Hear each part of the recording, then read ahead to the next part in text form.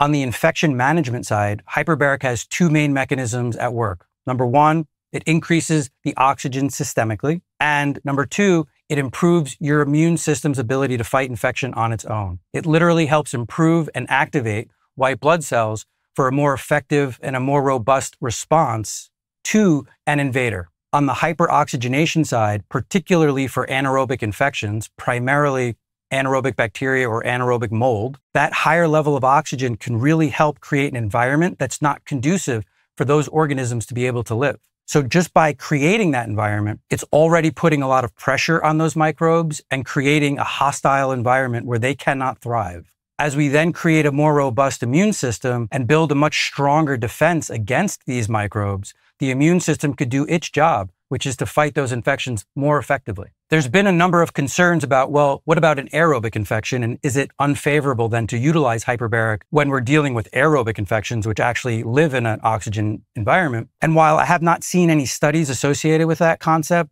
clinically, what I could say is it appears that the effect that hyperbaric is having on the building of the immune system and improving that person's immune system to fight infection seems to supersede any potential feeding of an aerobic infection that we might be doing. So I have not seen a patient get worse or have an infection spread because we're utilizing hyperbaric. I've only actually seen that using hyperbaric with infection does seem to help that patient manage and move through that infection in a much more favorable way.